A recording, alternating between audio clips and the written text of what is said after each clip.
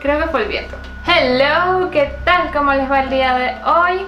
Mi nombre es Karina y el canal es Carilpan para aquellos que no lo sepan. Y si eres nuevo, no te olvides de suscribirte al botoncito de acá abajo.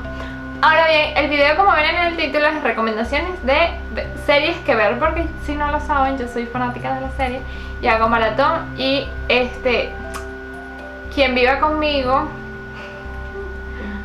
o sea mi pareja va a entender que las series las veo yo sola, a mi ritmo sin esto de, ay, vamos a ver, no puedes ver el siguiente episodio sin mí no mi amor, yo no soy así, ¿ok?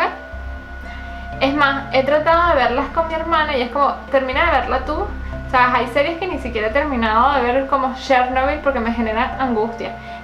Es arrechísima, pero me genera angustia. Entonces le dije a Corina, no, termina de verla. Y hay veces que la veo sin ella, entonces después se molesta. Entonces ya llegué a la conclusión de que Corina, según ella, no se molesta. Me molesto porque quedamos en verla juntas. Si no quedamos, no me molesto. Entonces ya yo decidí que verlas a mi ritmo, porque yo tengo un ritmo muy acelerado de ver las series y mi hermana Mi hermana es más de anime y de esas cosas. Pero yo no. Entonces yo dije, bueno, ya que me encanta ver series, pues vamos a recomendar para aquella gente que... Y odio esta, esta camisa, pero es la liga. Este, entonces decidí que si quieren ver las mis recomendaciones, pues aquí se las traigo. Ahora sí, vamos a empezar.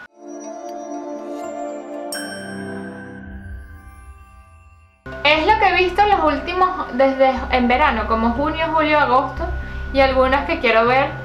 Entonces, la primera, Chernobyl. Si quieren enterarse del desastre que pasó en la planta nuclear de Rusia, pues es interesante verla. Y además yo estuve investigando y supuestamente fue mucho peor de lo que nos lo hicieron ver, así que muéranse. Eh, angustia al 1, 2, 3, ya. Vamos a ver las de HBO. Después Big Little Liars, que narra la historia de 5 o 6 amas de casa, si no me equivoco. 1, 2, 3, 4. Ajá, 5. De 5 amas de casa y cómo ellas, este, bueno, cómo se oculta el maltrato dentro de unas familias que tienen bastante dinero y que creen que al final es culpa suya, entonces asume como que el tipo es violento con ella y como que lo ve normal, no le cuenta a las amigas porque a pesar de que este lo asume como normal, sabe como que hay algo malo ahí, se las recomiendo ver. Es una serie con actores, actrices tan grandes como en la segunda temporada está Meryl Streep, pero en la primera está, en las protagonistas son Nicole Kidman, Reese Witherspoon, la que hace de Leal, la que hace de Divergente, la protagonista. Ay, no me acuerdo la... Las dos, la que tiene, la que es un... No, y la catira. Laura no Ajá. Shailene Wood, Woodley es la que hace de Divergente. Después está Zoe Kravitz, yo iba a decir que no me... Y Naomi Watts. no. Solo te puse Charlie Wood, no te busqué la otra. Ah. Pero Laura Ligney, algo así. Big Little Lies. Reparto. Eh, Laura Dare. Uh, esas. Y bueno, eh, ya va por su segunda temporada. Esa me encanta, así que la recomiendo. Después de... Siguiendo HBO está Gentleman Jack. Que si te gustan las series de...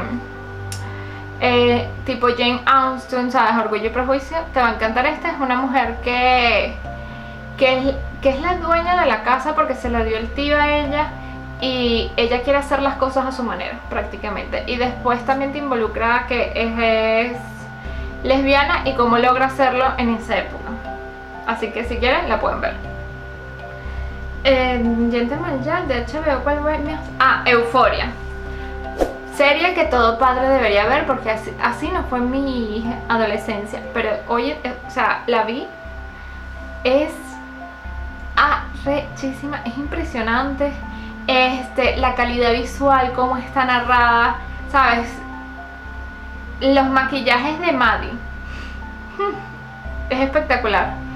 Eh, en sí, lo que trata la adolescencia es que hoy en día es como nos, eh, desde pequeña te dan como eh, estos para, el dolor, para los dolores de cabeza, painkillers se llaman en, en Estados Unidos, pero bueno, son estas pastillas para matar el dolor y que desde pequeña te vas volviendo adicto y por eso eh, la protagonista se vuelve drogadicta y te va explicando todo y cómo todo surge y pri- es bastante, o sea, para que las vean las, las adolescentes, si es su vida así, pues no será tan analgésico.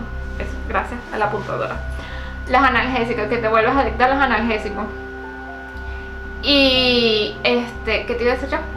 Bueno, es eso, te va contando la historia, es bastante fuerte, tiene imágenes fuertes, así que yo recomiendo ver, que la vean todos los padres de adolescentes o que vayan a tener adolescentes para que vean cómo está la sociedad. No, en... Creo que fue el viento. Bueno, en mi país natal, Venezuela, Caracas, pues eso no era así. O sea, o, o no, yo creo que yo era inoc- inocente, era como Heidi de la pradera. Y aún así Heidi mató a Clarita o la lanzó por el barranco. ¿No? Casi. Casi. Bueno, no era tan inocente Heidi. ¿Sabes? Compara- comparado con esa serie, digo yo, Dios mío, no, yo era un inocente. Soy un inocente hoy en día comparado con, con esa serie. Pero la recomiendo porque hay que verla porque hoy en día creo que la sociedad está yendo hacia, ese- hacia eso. Y no, no debería. Así que no, no quiero hablar mucho sobre, sobre la temática para no hacerles spoilers. Ajá. Mm, de HBO, ¿qué más? Bueno, la otra de HBO es Doom Patrol y viene de DC Comics. Y bueno, son como 4X4. El hombre invisible, el, el hombre de hojalata, que no se llama el hombre de hojalata. Una que tiene 64 personalidades que se puedan ver y la que se derrita y se vuelve algo. Ajá, esas. Y creo que después se le une más. Ajá, después le de Cyborg. Exacto. Bueno, este es de DC Comics y tienen esos cuatro personajes y es- están como condenados y por eso es de Doom Patrol porque son como egoístas y tratan de salvar el mundo, a veces sí, a- sabes, cada quien tiene su problema porque bueno, cada quien ha vivido lo suyo y han llegado ahí por accidentes y no por, sabes, y no tipo, accidentes tipo los de de Marvel, que a veces como que es Spider-Man, algo así, pero no tan, no tan fancy como Spider-Man. Bueno, y después el cuento de la criada, que yo estaba esperando que, que sacaran todos los episodios para verla, todavía no la he visto la tercera temporada, pero según me han contado mi mejor amiga, esta está más angustiosa que la anterior, así que para que no nos suceda lo que sucede ahí, pues hay que verla y reflexionar sobre lo que estamos haciendo hoy en día, para no llegar a ese punto. Y creo que esas son las que tengo de HBO. Ok. Ah, de Fox, que creo que también está en HBO, pero es de Fox. Legión. He visto la segunda, me acabo de enterar ahorita revisando cuál es la que le iba a contar, que Legión ya tiene su tercera temporada, así que voy a ir a verla. Porque Legión es un superhéroe eh, que controla mentalmente, que es un superhéroe, no, sí. Es como el Fénix de Marvel. Ajá, es de Marvel, pero digo, el, el personaje de Fénix. Pero es más arrecho todavía porque parece que tiene su- superpoderes, pero él los tiene controlados porque le dicen que es esquizofrénico y que se sabe. Y que todo está en su mente. Pues no, así que vayan a verla. Porque es buenísima. La, la primer es lo mejor porque estás como, "¿Qué- pero ¿qué le pasa a este hombre? Pero en serio, ¿sabes? En la segunda ya sabes que tiene superpoderes. Y es como, es lo que está ocurriendo. Pero maten al malo, por favor, porque, ¿saben? Así. Y, ajá, eso. Después voy a pasar ahora a Netflix. Y bueno, eh, está Black Mirror, que la tercera, la tercera temporada, bueno, la última temporada fue muy floja comparada con lo que venía haciendo. A mí me decepcionó. Fue como, en serio.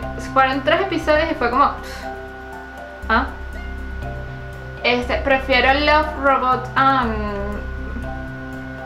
Machines, Machines. Algo así. Después Happy, que es un amigo imaginario, se llama Happy. Es un unicornio. Y antes eran de la niña, pero ahora pasó al padre. Y el padre es un policía retirado, borracho, que le suceden cosas, ¿sabes? Insólitas. Y entonces, eso.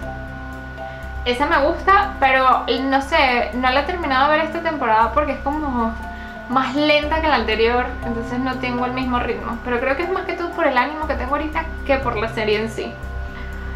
Ok, este, entre para limpiar el, lo que yo llamo para limpiar el paladar, entre serie y serie, de intensas de ciencia ficción o esa o Big Little Liars o el cuento de la criada, veo Cleptómanas, que son tres chicas que roban.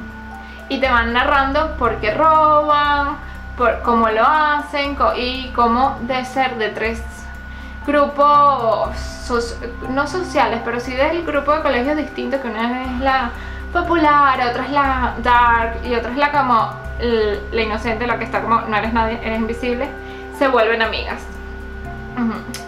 Después está Dark, que es ciencia ficción de otro nivel, es alemana, es, eh, tiene una teoría de los viajes en el tiempo del constructo alemán, así que es completamente rechazada.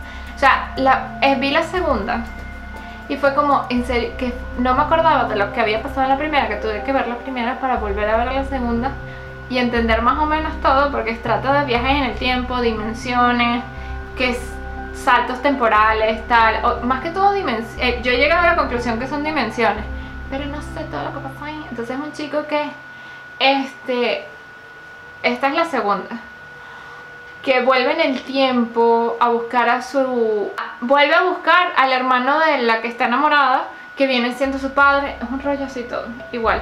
Hay una que es madre e hija a la vez de la misma persona. ¿Ok? Fumátelo. Este... Stranger Things. Quien no la haya visto y le gusta la ciencia ficción, tiene que verlo. Son cuatro chicos tratando de destruir a un monstruo, que el monstruo de esta temporada es el más asqueroso de todas porque agarra las ratas y las transforma así como en carne de, eh, podrida. Es asqueroso, asqueroso. Pero está súper genial y bueno, se muere alguien. Averigüen quién se muere si no lo han visto. Fue la parte más. Yo lo que creo es que están dándole la batuta, que estos nuevos, que los cuatro chicos van a cambiar va a aparecer otro porque como le estaban como dando la batuta a, los hermanos, a los más pequeños del, que aparecían en la serie. Eso es mi teoría. Ah, historias de San Francisco que narra narra la historia de un viene ya de, de, unos cuentos que ya habían aparecido en la tele pero esta vez como este la continuidad pero con un toque moderno y es como la dueña de una casa que es la lucha trans, de transgénero y acepta a toda la gente gay, ¿sabes? Toda la, comunidad LGTB. Entonces si quieres ver la lucha que tienen y cómo en esa casa se concentra este como que la gente que a pesar que quiere estar bien pero no hace una lucha en la calle como lo hacían otros, ¿sabes? Entonces es eso. Bueno, esto es tipo cleptómanos para limpiar el paladar también. Ok, y me faltan dos. Hunter, que me acabo de enterar que hoy se estrenó la segunda temporada y si te quieres enterar cómo se crean las mentes de los asesinos en serie y cómo se acuñó la frase asesino en serie, pues tienes que verla. Este es el de el personaje del FBI que empezó con toda esa división y todo eso de cómo antes no había asesinos en serie o no estaba definido y ahora sí. Y es interesante porque él lucha contra el sistema y todo lo que lucha contra el sistema es interesante. Ajá, esa. Y la última es Wu Assassin, que es la historia de Avatar, eh, la película. bueno, yo vi la película, creo que hay una serie. Que es alguien que tiene que unir, que lucha, que él puede tener todos los elementos y luchar contra los elementos, pero hay malos que tienen y lo usan a, mal eso. Por eso no terminé de ver el último capítulo porque me pareció puro de que estaba predecible. Así que eso sí que no se las recomiendo ver. Bueno, es Estas son todas las series, lo que recomiendo ver y no ver de series en general. Películas no veo tanto, pero si quieren ver las opciones de películas, pues me lo dejan saber. Así que si te gusta este tipo de videos, por favor me, das, me regalas un me gusta, me dejas un comentario para yo saber que te gusta. Comparte con tus amigos amigos, te suscribes y nos vemos en el próximo video. Bye!